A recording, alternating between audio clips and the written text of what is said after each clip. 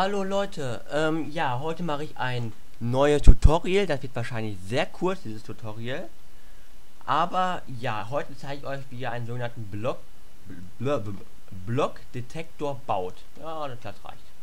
Dieser Blockdetektor macht folgendes, und zwar könnt ihr zum Beispiel durch so eine Jukebox ähm, eine Tür öffnen, beziehungsweise auch durch so eine Redstone-Ohr, äh, ja, Redstone-Ohr oder anderen Sachen. Ich werde gleich noch erläutern, welche es noch gibt. Also gut, fangen wir an.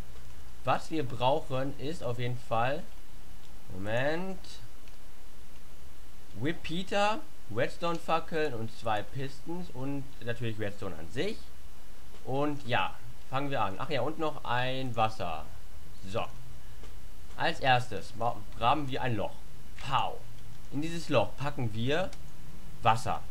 Danach graben wir uns hier zur Seite runter und packen hier schnell äh, Pisten hin. Darüber auch wieder ein Pisten und ja.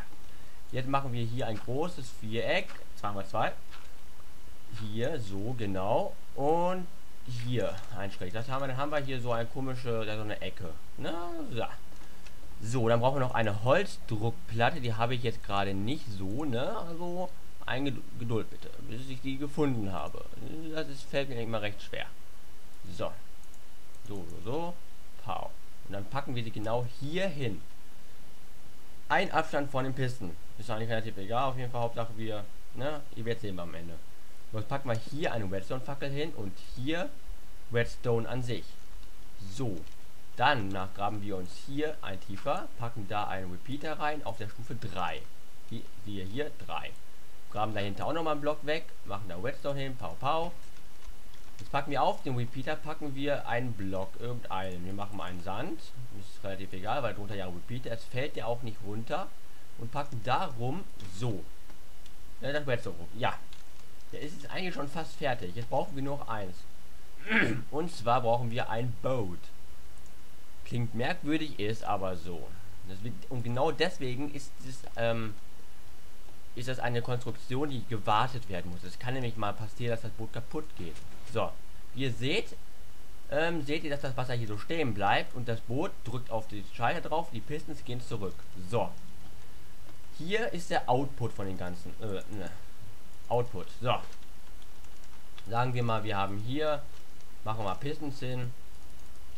Pistons. Und ja. Sagen wir, wir haben jetzt hier eine Jukebox. Pow. Und schon sehen wir, wir haben hier ein Block hingepackt. Das Ganze fertig aus. Und die Pistons gingen hier an. So.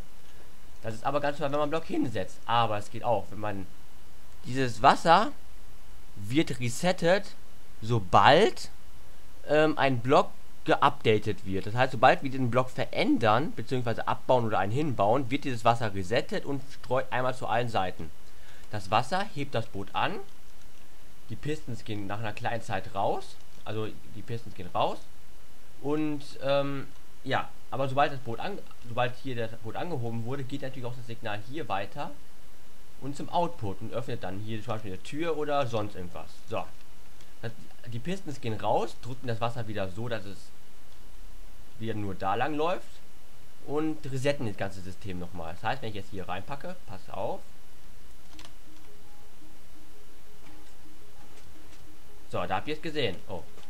Das Wasser geht hier raus, Boot angehoben, Pistons raus, hier das ging das Signal durch, Wasser resettet, Punkt, fertig. So, und jetzt kann man wieder wieder rausmachen. Und alles wieder von neu. So kann man hier zum Beispiel hier, wie man hier sieht, Türen öffnen. Das Signal ist aber nur sehr kurz. Jetzt zeige ich euch eben kurz, wie man das schnell verlängern kann. Und zwar nehmen wir jetzt meine nehmen wir eine AS Ledge, äh, AS Nor Ledge Gate oder keine Ahnung wie das nochmal heißt, habe ich den Namen vergessen. Das tue ich ja immer ganz gerne, Namen vergessen. Und packen den so hin und ähm, so hin. Ja, war das so richtig? Ja, muss sein. Wenn nicht, halt Pech gehabt. So, jetzt packen wir hier so und so. Ihr könnt das, ihr könnt ihr einfach auch irgendwie nach da hinten bauen. Also, ne, das ist hier ja jetzt beweglich. Müsste jetzt nicht um die Wand bauen. Wenn ihr jetzt hier zum Beispiel die Wand stehen habt und das hier versteckt, dann man es nicht sehen muss. So.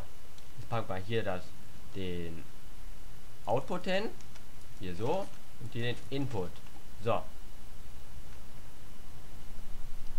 Und sobald jetzt hier Strom durchläuft, wie ihr seht, ist es jetzt an alles. Das heißt, sobald hier Strom durchläuft, geht hier die Fackel an. Moment, mal kurz überlegen. Hier die Fackel aus, hier geht es auch aus. Gucken wir einfach mal hier. So. Ja, die ihr, da äh, klappt es einmal um. Das ganze System klappt einmal um. So, aber müssen wir es noch resetten. Das heißt, hier muss auch nochmal Strom durchlaufen. Das heißt, wir bauen jetzt erstmal hier uns eine schöne Strecke auf. So. So, das kann man auch wegmachen. Und ja, jetzt bauen wir hier Repeater hin. Mit der Länge, die die Tür oder ein ähm, bewegliches Redstone-Objekt an oder aktiviert sein soll. Unter Strombefluss. Machen wir einfach mal ganz lange Zeit, damit wir was erkennen.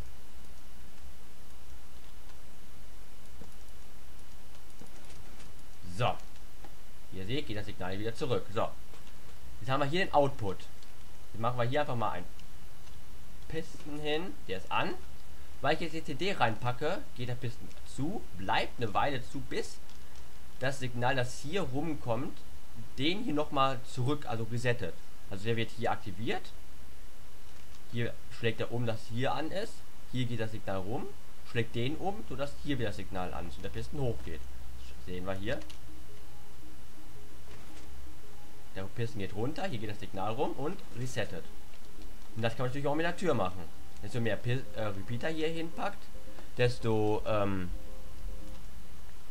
ja, desto länger bleibt die Tür offen. Oder das Pisten oder je nachdem. Wie ihr seht, jetzt wieder umgekehrt, weil ich jetzt den Reset Block resettet habe. Das geht lustigerweise aber auch mit, Moment, einer Redstone Ore. Und zwar, das ein ziemlich lustiges Objekt, eben deswegen, weil wenn man vorbeigeht sogar das ist ein richtiger Detektor. Das kann man als unsichtbare Druckplatte benutzen. Ich gehe vorbei. Ja, hier so nicht, aber ich stelle mich drauf. Und der geht an. Was, also der Block wird so theoretisch zu einem neuen Block. Aus dem Aus-Redstone-Ohr wird ein An-Redstone-Ohr. Also Off-On, ne, der ist jetzt gerade on.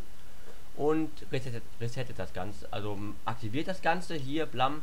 Und ja, so ist eine unsichtbare Druckplatte. Weil niemand erwartet, dass durch eine Redstone-Ohr ein System eingeschaltet wird.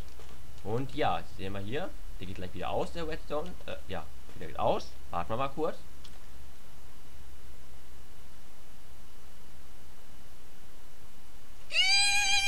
Los, geh aus!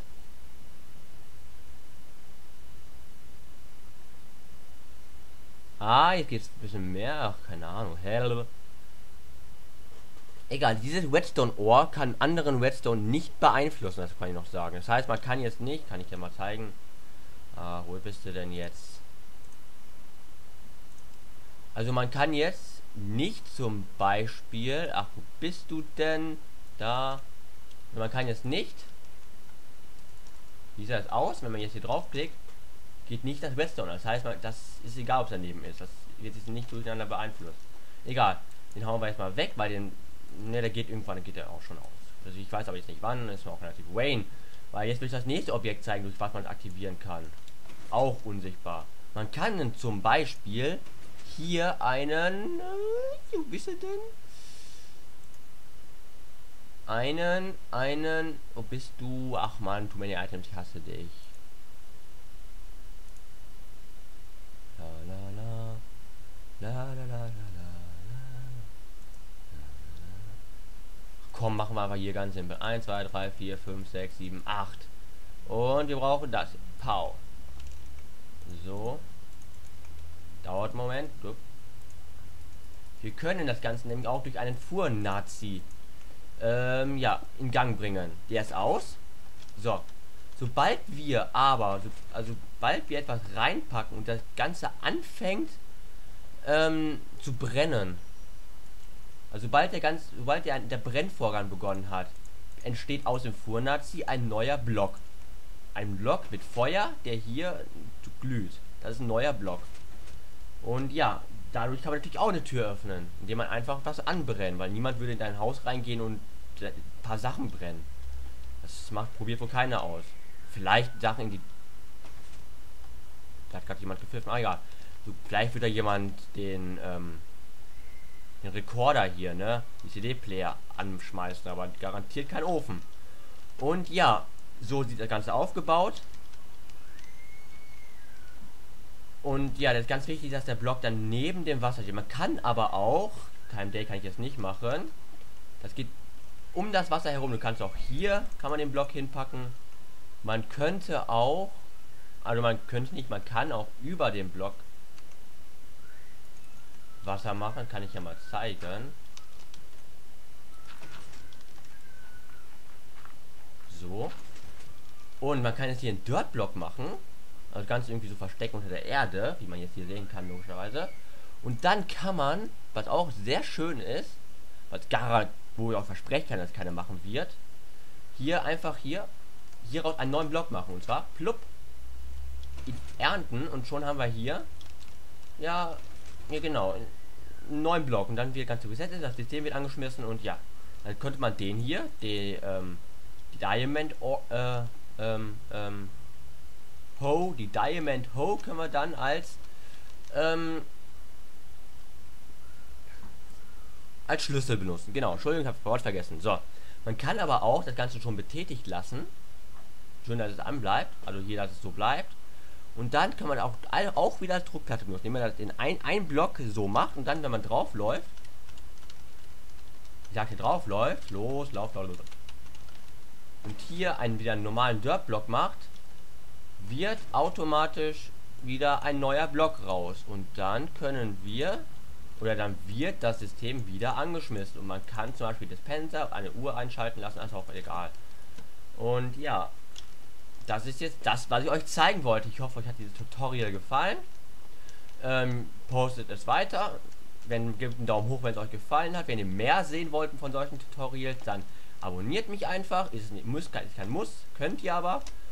Und ja, es wird mich freuen, wenn ihr in die Kommentare Ideen schreibt, was ich denn noch so alles bauen könnte oder Tutorials drüber machen. Wenn ihr etwas nicht wisst, zeige ich es euch.